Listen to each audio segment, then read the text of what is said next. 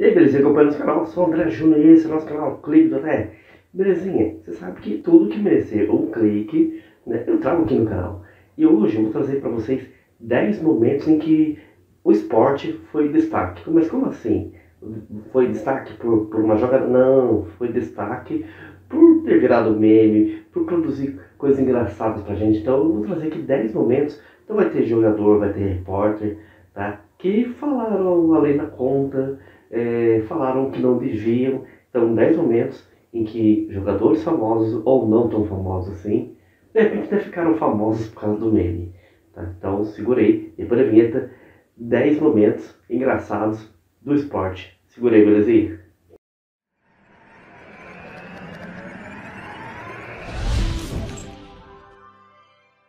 Belezinha? Vamos lá, sem enrolação.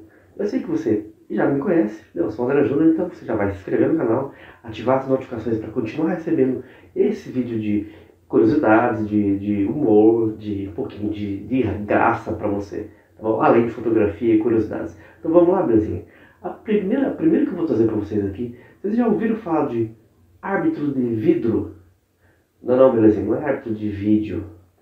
Não tá entendendo? Então segura aí você acha a respeito dessa decisão da CBF de colocar árbitro de vídeo a partir da próxima rodada? Como é que você acompanhou isso? Não, não estou sabendo ainda de vidro, de vidro? De vídeo, de vídeo, é. Aquele que fica ali atrás para poder, enfim... Pra... Entenderam, Brasil? Esse é o Kleber. O Kleber, inclusive, jogou, jogou no Guarani, jogou no Corinthians. Né? Árbitro de vidro, Brasil. É uma nova categoria que eu não sabia. Agora eu estou sabendo que existe na cabeça do Kleber o árbitro de vidro. O árbitro de vidro. Fala sério, né? Belezinha. É... Belezinha. Existe também, nós temos necessidades fisiológicas, sabe disso, né? Será que os jogadores têm em campo? Será sim ou não? Será que eles passam mal? Vamos ver aqui o Mariano e o Marcinho falando disso aqui é, agora. Segurei, Belezinha. E Mariano, o que, que aconteceu no intervalo do jogo que você chegou atrasado? Ah. Não, tive um probleminha ali, a gente teve que, Fala teve que dar uma soltada antes, Mariano? Não, não. É, não resistiu. O Mariano resistiu e deu uma saidinha. E o Marcinho? O que, que o Marcinho aprontou? Como que ele ficou? Será que ele ficou debilitado? Olha aí. Sentiu alguma coisa, Marcinho?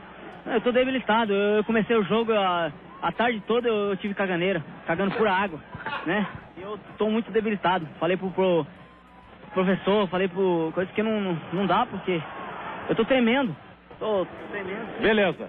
Valeu, Marcinho. Debilitado por isso. Putz, grila. Esse ficou mal, hein? O Marcinho ficou mal pra caramba. Misericórdia. E agora, tem, tem aquele jogador que fala pra galera, né? Fala, dá um recado pra galera, sutil. O Roberto. Será que o Roberto foi sutil? Será que ele deu um recado discreto pra galera? Vamos ver o que o Robertão falou aí da, da Ponte Preta. Jogava na Ponte Preta. Olha o que o Roberto falou. A Ponte Preta em nenhum momento procurou essa confusão, não caiu na, nas provocações. Não, eu falei pra rapaziada no banco, né? no, no início do jogo. Nós temos que ter, ser frios ao ponto de, se eles cuspirem na nossa cara, pegar o cuspe e comer, fazer eles vomitar de nojo. Entendeu? Eu falei pra rapaziada.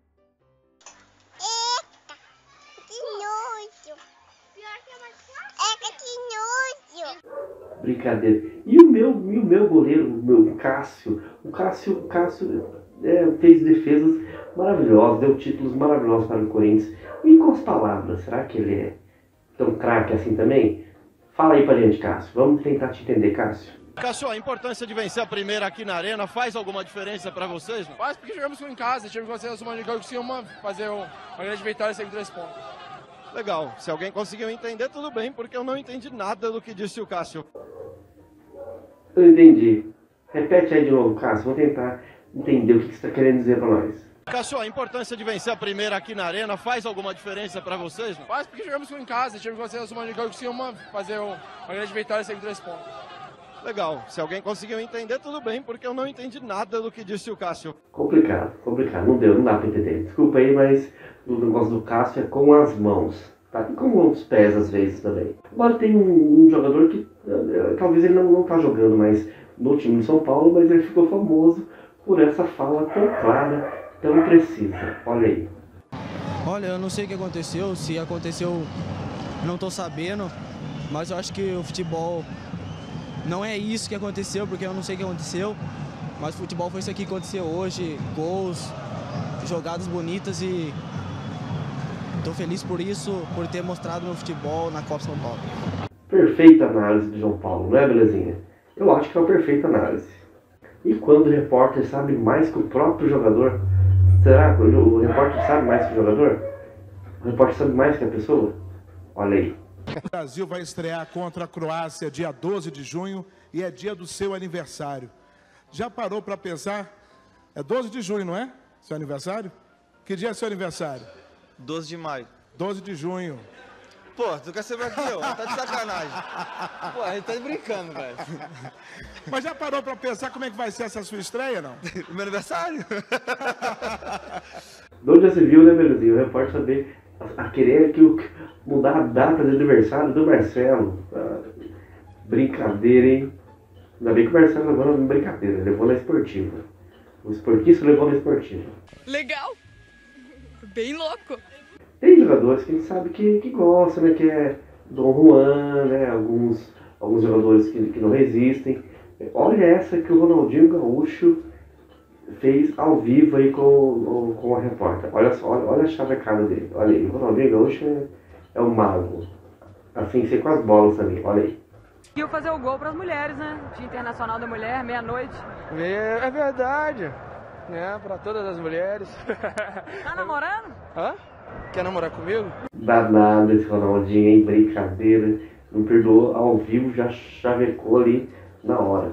Brincadeira, hein? Ronaldinho é Ronaldinho, né? O mago. E o Luiz Fabiano, o Luiz Fabiano a gente conhece, ele é conhecido quando ele jogava pelas polêmicas, pelas brigas. E aí, nesse jogo, olha o que ele fez. Ele ficou entre o pênalti e a porrada. Olha aí. Que, por que será? O que, que ele vai optar? Pênalti porrada? Escuta aí. Confusão com o argentino, jamais a gente pode ficar de fora, tem que ajudar os companheiros. Eu sou o batedor oficial, estou de fora, infelizmente, mas entre brigar e, e, e bater o pênalti, eu prefiro ajudar na briga. Ah, Eu não sei também se eu concordaria com o Luiz Fabiano. Talvez eu, entraria junto na porrada aí, né? Na, para defender os, nós, nosso, nosso, nossa pátria, por que não? Né? Por que não? Nascer em violência, mas não tem que defender nossos, nossos irmãos né, brasileiros. Tô com você, Luiz Fabiano, tamo junto. E para concluir, ah, ele é o mestre, é o mestre de, de falar coisas, virar meme. E agora ele vai estar no Flamengo, né? Vamos ver o que ele vai aprontar por lá. É o famoso Marinho. Então tem dois, dois vídeos aqui, concluindo com ele aqui, para fechar com chave de ouro esses 10 momentos do futebol. Então, Marinho, fala aí pra gente. Atacante Marinho, que caiu desacordado no campo depois de um choque com o Henrique. E Marinho, você lembra desse, desse lance que até foi gerou o pênalti para Vitória? Então, eu, eu fiquei sabendo só através dos meus amigos, né? Depois do jogo, né? Que eu tinha tomado uma pancada forte na cabeça onde eu não lembrava, né? E que tinha acontecido um pênalti e depois falaram que eu que fiz o gol, coisa que eu nem sabia. Você não lembra de ter feito o gol? Não lembro, eu não lembro e no vestiário que foi que falaram pra mim que eu que tinha feito o gol. Então, mas foi um, um choque, foi muito forte, né? Que tô sentindo um pouco de dor ainda, mas a gente vai, vai Você esperar. não sabe nem se você comemorou o gol. Não. Não sei, só até porque como, eu- como eu acabei de falar, né? Eu só fiquei sabendo que fiz o gol no vestiário. Essa eu acreditei muito não, porque não lembrou o que ele fez depois do jogo. Muito esquisito. Mas essa aí. Que merda, hein? Ah, lembrou, né, Belezinho? Olha aí. Caralho, é difícil, velho. Muito, muito, muito. Com um a menos desde o início do jogo. Superação. A gente sabe, a gente vai jogar contra todo mundo, velho. Essa é a verdade. O Silas ali tava feliz com o gol, mas também não gostou, você tirou a camisa, tá fora do próximo jogo, mãe. Tô? Ah. Que merda, hein? Sabia não? Eu, eu, eu só tomei um cartão contra o Atlético só, não tô lembrado do outro. Dois por ter tirado a camisa. É? Também teve um gol que você comemorou, também tirou a camisa. Eita, merda, que merda, hein? Pô, não sabia. Ah. É. É, vocês me falaram agora. Que, que merda, hein? É, é isso. Ah, comemoro mesmo. Ah, tô cansado, velho. Que merda, hein? O Marinho é uma figura, queria tanto que, o Corinthians contratasse o Marinho, mas ele foi para o Flamengo. Então, belezinha, gostou? Qual que, qual que é um desses momentos que você mais achou engraçado, que você mais lembra aí? Deixa nos comentários aí. Se quiser mais vídeos assim como esse, deixa nos comentários e vai, de repente, trazer uma sequência de memes de futebol, momentos engraçados de futebol. Segura aí, belezinha. Não esqueça de se inscrever no canal, ativar as notificações para continuar acompanhando esse balacabado aqui que traz coisas legais, engraçadas e curiosas para você. Um grande abraço, belezinha. Até a próxima aí. Fui.